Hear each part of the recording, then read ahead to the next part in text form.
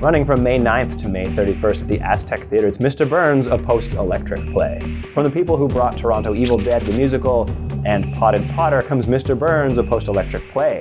In a post-apocalyptic world devoid of electricity, a small group of survivors band together in search of food, shelter, and the most precious resource of all, classic lines from The Simpsons part pop musical, part chilling contemporary allegory, and part Simpsons celebration, Mr. Burns is an animated exploration of how the pop culture of one era evolves into the mythology of another. It's worth noting the performance is staged entirely without the use of electricity.